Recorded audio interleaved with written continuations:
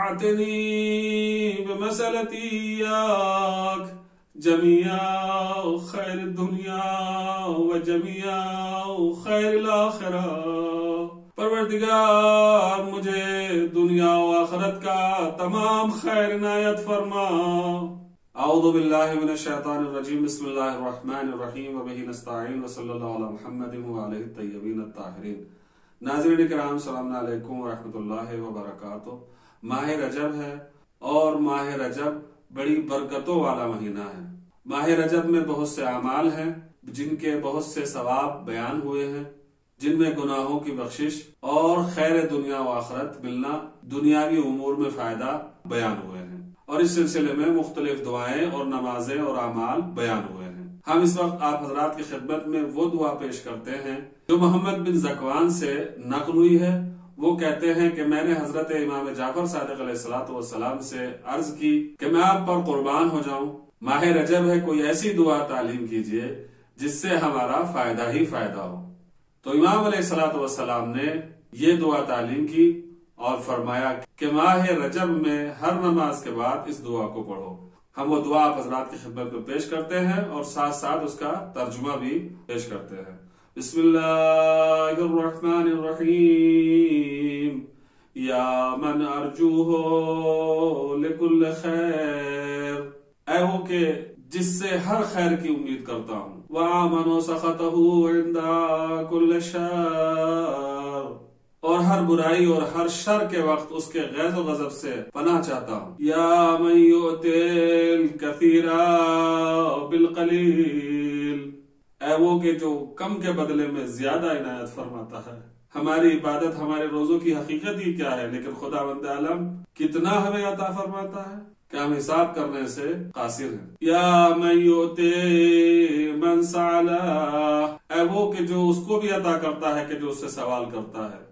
وَيَا مَن يُؤْتِي مَن لَّمْ يَسْأَلْهُ وَمَن لَّمْ يَعْرِفْهُ، اور اسے بھی عطا کرتا ہے کہ جو اس سے سوال نہیں کرتا، جو اس کو جانتا نہیں ہے، جو اس کو پہچانتا نہیں ہے تَحَنُّنًا مِّنْهُ وَرَحْمَةً اور وہ اپنے لطف و کرم سے نوازتا ہے۔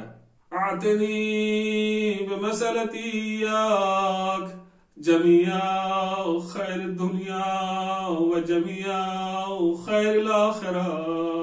پروردگار مجھے دنیا و آخرت کا تمام خیر عنایت فرما۔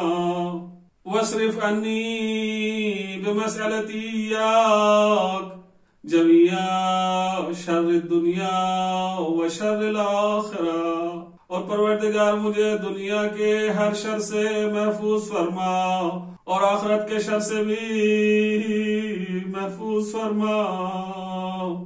فَإِنَّهُ غَيْرُ مَنْقُوسٍ۔ مَاتَتْ کیونکہ تیری عطا میں کوئی نقص نہیں ہوتا؟ وَزِدْنِي مِنْ فَضْلِكَ يَا كَرِيمٌ اور اپنے فضل و کرم سے مزید عنایت فرما۔